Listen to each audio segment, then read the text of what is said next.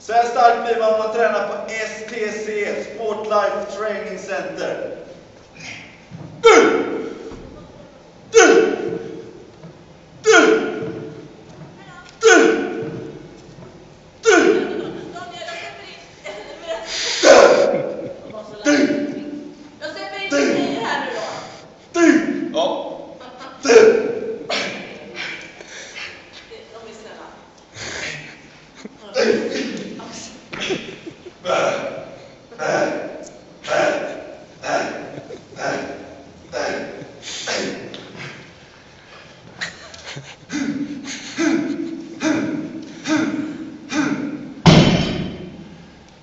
Kom på lördag.